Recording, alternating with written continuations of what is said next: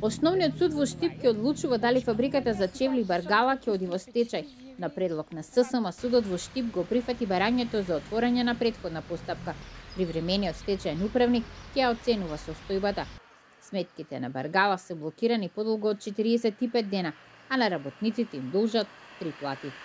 На должникот Баргала Аде Штип му е определена општа забрана за располагање со која му е забрането да располага со имотот без одобрение на стечајниот управник како и се забранува одредување или спроведување на присилно извршување или обезбедување против должникот.